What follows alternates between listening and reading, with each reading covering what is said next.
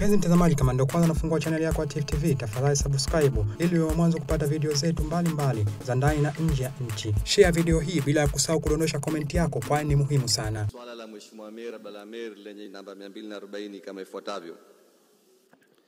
Shirika la bandari limeanzishwa rasmi mwezi Julai 1997 chini ya sheria namba moja ya mwaka 1997 na lina jukumu la kuziendesha, kuzisimamia na kuziendeleza bandari za Zanzibar pamoja ambazo zimethibitishwa na serikali na zile ambazo bado hazijathibitishwa. Bandari bubu zinasimamiwa na serikali za mitaa, manispaa, mabaraza wa halmashauri na zilizopo kupitia maeneo ya bandari bubu ilipo.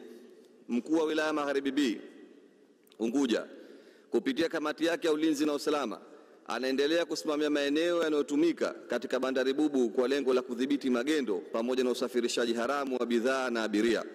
Hata hivyo, katika maeneo ya Kisakasaka, Bweleo na Fumba, shirika la bandari na mamlaka ya usafiri baharini ZMA pamoja na taasisi nyingine wameendelea kutoa mashirikiano kwa mkuu wa wilaya hususan katika kutambua sheria na vigezo vya usalama wa usafiri baharini, usafiri abiria na bidhaa ambazo haziruhusiwi kushushwa kupitia bandari bubu kwa malengo ya kuhakikisha hakuna mianya ya upotevu wa mapato.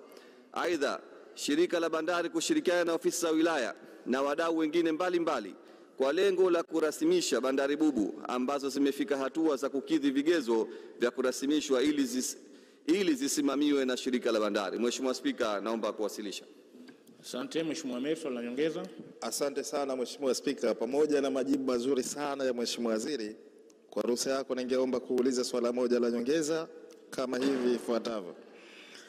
Kwa kuwa mkuu wa wilaya Magharibi B akishirikiana na kikosi cha KMKM na kamati yake ya ulinzi na usalama wamekuwa wakifanya jitihada kubwa, lakini wakati mwingine wamekuwa wakikwama kidogo kutokana na uhaba wa vifaa na usimamizi. Je, shirika la bandari na wizara kwa ujumla haioni kwamba kuna umuhimu pia wa kumpa motisha kubwa mheshimiwa mkuu wa wilaya na kamati yake ya ulinzi katika kumtatulia baadhi ya changamoto ili kazi hii iweze kufanyika kwa uweledi na umakini mzuri? Asante. Mheshimiwa Waziri, majibu. Mheshimiwa Spika, kwa ruhusa yako na kwa niaba Mheshimiwa Waziri wa Ujenzi, Masuala na Uchukuzi, naomba kujibu swali la ziada la Mheshimiwa Amir Abdulhamir kama ifuatavyo. Kama tulivyosema kwenye jibu letu mama kwamba bandari bubu zote ziko chini ya wizara tawala za mikoa, hivyo tuhakikishie kwamba sio mkuu wa wilaya Magharibi peke yake anaofanya kazi hii. Wakuu wa wilaya wote Unguja na Pemba wanafanya kazi hizi za kupigania mabandari bubu, na nimhakikishie yule mkuu wa wilaya yote ambaye atakwama anahisi anahitaji kusaidiwa, basi alete maombi tu kwenye bandari, tutayafikiria na tunaweza tukamsaidia. Lakini kama tulivyosema kwenye jibu letu mama kwamba wapo chini ya tawala za mikoa na wizara yao ipo na fedha wanazo za kutosha. Asante sana Mheshimiwa Spika. Asante Mheshimiwa Mihayo Juma Nunga, swali la nyongeza. Nakushukuru sana Mheshimiwa Spika, nami kwa kuniona kunipa ruksa ya kuuliza swali moja dogo la nyongeza yenye kifungu A na B kama ifuatavyo. Kwa kuwa uh, katika siku za karibuni uh, kumekuwa kuna ongezeko kubwa sana la usafirishaji wa makasha yaani makontena kutoka katika nchi za nje kuja katika maeneo yetu, na gharama hapa zimepanda mara tatu zaidi. Maana kwa sasa kontena kutoka China imetoka takriban kutoka dola elfu nane imekwenda dola elfu kumi na moja kwa zile zinazokuja Zanzibar, na kwa wale wa Dar es Salaam imetoka dola elfu nne mpaka dola elfu kumi.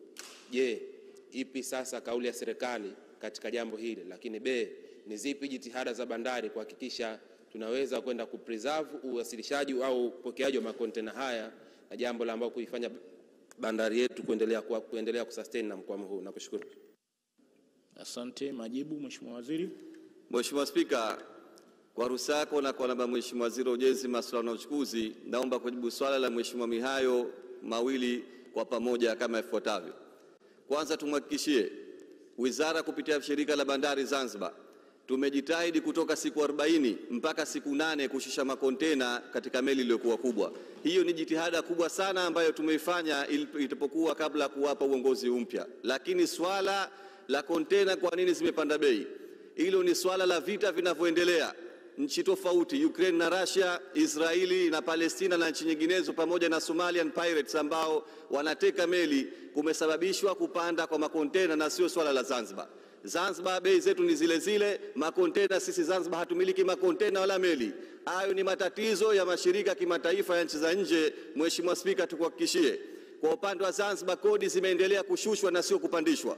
Mheshimiwa Rais wetu Dr. Hussein Ali Hassan Mwinyi, Rais wa Zanzibar na mwenyekiti wa Baraza la Mapinduzi, ameendelea kushusha bei na sio kupandisha bei. Hivyo tatizo hili sio la Zanzibar, ni tatizo la kimataifa. Asante sana Mheshimiwa Spika. Tifu TV inakupatia video mbalimbali mbali kutoka ndani na nje ya nchi. Tafadhali endelea kutufuatilia kupitia chaneli yetu ya Tifu TV, YouTube, Facebook, Twitter na Instagram, bila kusahau kudondosha komenti yako, kwani ni muhimu sana. Tifu TV tupo kijamii zaidi.